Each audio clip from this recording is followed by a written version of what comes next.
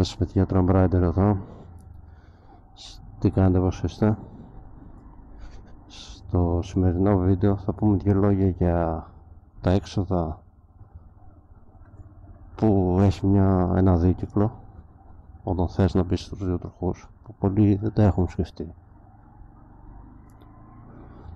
Ε, τώρα εδώ υπάρχουν, να πω κάτι, υπάρχουν δίκυκλα που εντάξει δεν είναι κοστοβόρα, π.χ. ένα παπί είναι το πιο, πιο συμφέροντα οχήματα που υπάρχουν αυτή τη στιγμή.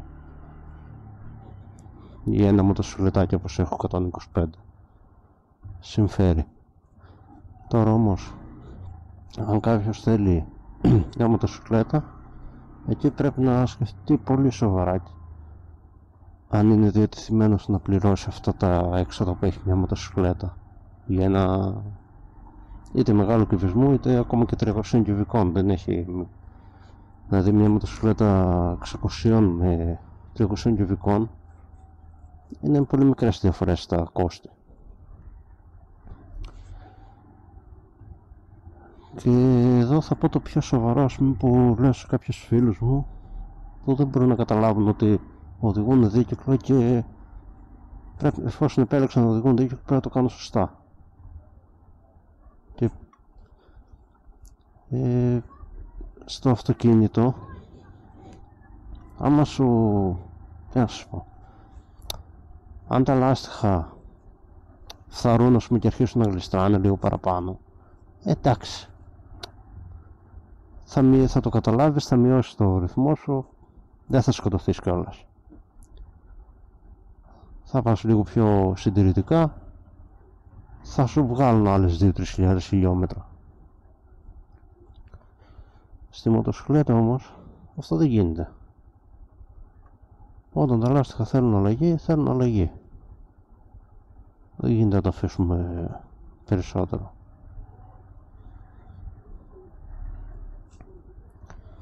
Άλλο τώρα. Αναρτήσεις. Στο αυτοκίνητο ας πούμε αφήνουμε τις αναρτήσεις. Άμα το αυτοκίνητο κινείται π.χ. σε ταξίδια μπορεί και 200.000 χιλιόμετρα στη μοτοσυκλέτα όμως αυτό δεν παίζει. Όταν αρχίσει η ανάρτηση και δεν δουλεύει σωστά χρειάζεται είτε συντήρηση είτε αλλαγή ανάλογα το μηχανάκι που έχετε γιατί πολύ απλά έχουμε δύο τροχούς. Δεν έχουμε τέσσερις.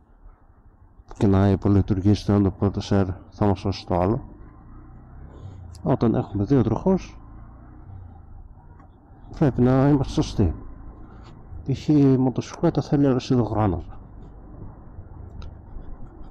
δεν γίνεται να τα αφήσουμε. Πρέπει να αλλάχτούν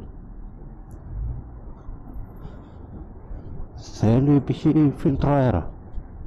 Εντάξει φίλτρο αέρα θα είναι και τα αυτοκίνητα. Απλά τα αυτοκίνητα νομίζω δεν αλλάζουν τόσο συχνά τα φίλτρα αέρα στο μοτοσυκλέτα είναι κάθε 24.000 χιλιόμετρα π.χ. Ε, βασικά όχι 24, στο είναι κάθε 12. Ανάλογα το μηχανάκι, ανάλογα τη χρήση, αλλάζουμε και το φίλτρο αέρα. Όλα αυτά όμως έχουν ένα κόστος.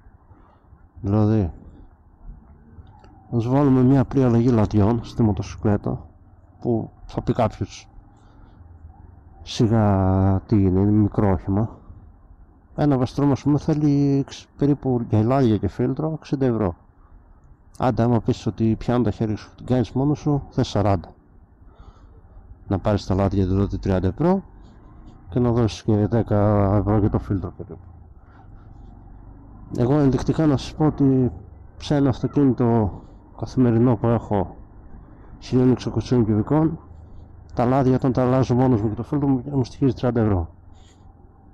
Στο συντεριό μου στοιχίζει 50 εδώ μιλάμε για μια μοτοσυκλέτα μισό κυβισμό η οποία στοιχίζει 40, 40 ευρώ να τα περισσότερα χρήματα από ό,τι στοιχίζει το αυτοκίνητο για να τα αλλάξει μόνος στα λάδια όταν ε, θες να αλλάξεις λάστιχα στοιχίζουν με ένα πούμε για το βαστρόμ που ψάχνω αυτή τη στιγμή να αλλάξω λάστιχα μου βγαίνουν γύρω στα 2,80 με 3 εκατοστάρικα. Στο συγκεκριμένο αυτοκίνητο εννοείται τα λάστιχα στη μοτοσυκλέτα είναι πάντα καλά. Δεν κοιτάς χαμηλή ποιότητα στη μοτοσυκλέτα. Κοιτάς πάντα να βάλεις το καλύτερο. Γιατί είναι δύο τροχιά που σε φύγει προηγουμένως. Τα λάστιχα στο αυτοκίνητό μου στοιχίζουν σε καλή μάρκα 4 εκατοστάρικα σε μια μέτρια κινέζικη μάρκα 3 εκατοστάρικα και αυτό το ξέρω γιατί άλλαξα πρόσφατα. Και επίσης εμένα το αυτοκίνητό μου έχει κάποια λάστιχα που είναι λίγο πιο σπορ δεν είναι ε, είναι κοινή διάσταση πλέον αλλά είναι μεγάλη για το για 1600 κυβικά ατμοσφαιρικό φοράει 17 ραζάντα και 225 πλάτος που εντάξει δεν είναι και λίγα.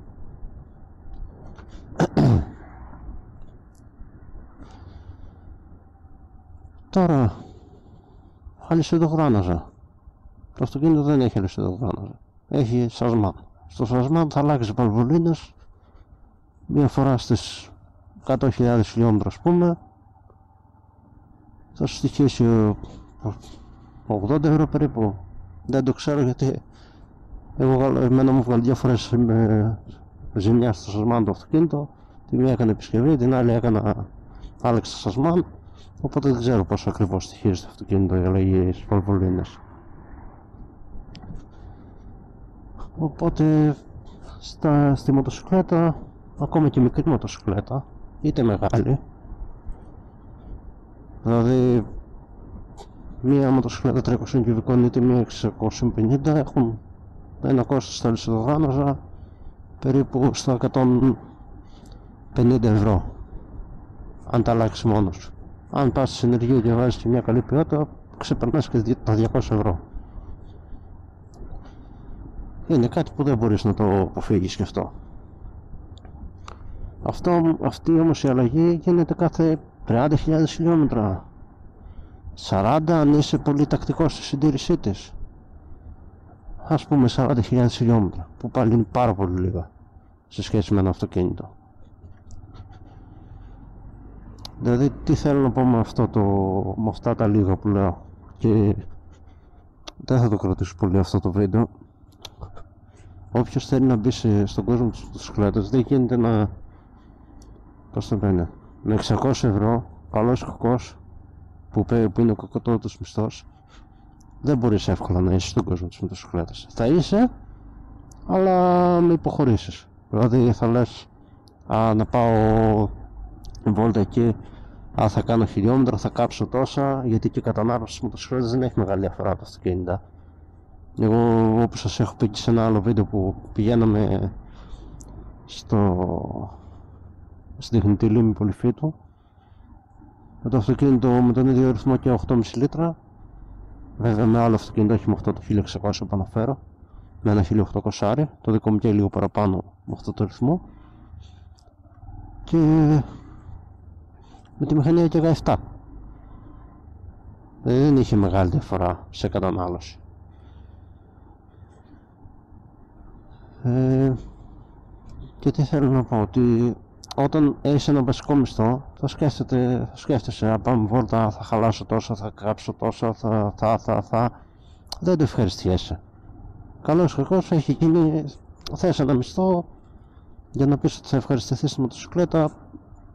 Πιστεύω γύρω στα 1000 ευρώ το μήνα τουλάχιστον. Για να πεις όμως ότι κάνεις και άλλα πράγματα. Και με τα 600 ευρώ, αν επιχειρήσει με τους δικούς και είναι τα λεφτά μόνο για να τα φας και τα τρως μόνο στη μοτοσυκλέτα μπορείς να, τη...